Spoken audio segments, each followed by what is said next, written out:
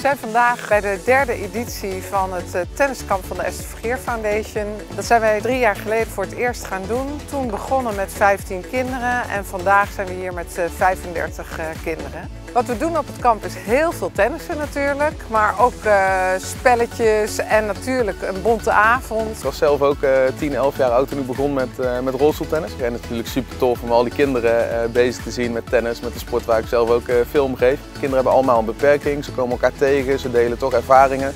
Um, en het is gewoon leuk, die kinderen die drie dagen eruit kunnen uh, zonder papa en mama. Het is uh, nou ja, gewoon heel leuk om met leeftijdsgenoten te spelen en het is heel gezellig. Normaal ga je gewoon uh, thuis op de bank zitten of zo en nu ben je gewoon constant bezig met leuke sporten. Zo'n groot verschil, maar wel een leuk verschil, een sportief verschil. Ja, dat, dat maakt me blij. Ja, omdat ik zeg maar, niet echt kan lopen, is het voor mij niet te doen om een normale sport te beoefenen, maar wel gewoon uh, sporten met uh, aangepaste dingen. Dat regelt de Esther van Foundation.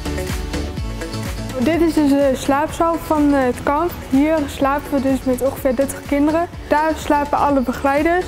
En hier hebben we alle bedden aan elkaar geschoven van de meiden. En aan die kant slapen de jongens. mijn situatie is dat ik 10 weken te vroeg ben geboren.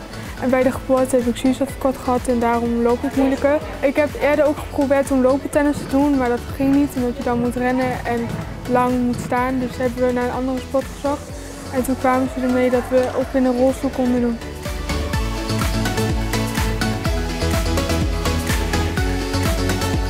Belangrijk dat ouders ook weten dat hun kinderen hier op een fijne, veilige plek zijn. Wij kiezen er echt voor om de zorg bijvoorbeeld eh, professioneel in te huren bij een eh, thuiszorginstantie. Omdat we willen dat dat wel echt goed en professioneel gedaan wordt. De voldoening die je eruit haalt als je een glimlach krijgt na een kort gesprekje of tijdens de training, eh, dat is echt top.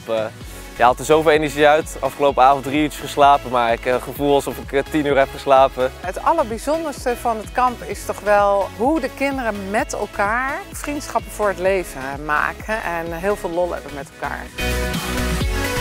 Ik hou sowieso heel erg van sporten. Je wordt er fysiek moe van, maar mentaal levert je ook heel wat op. Een weekend om naar terug te kijken en nooit meer te vergeten.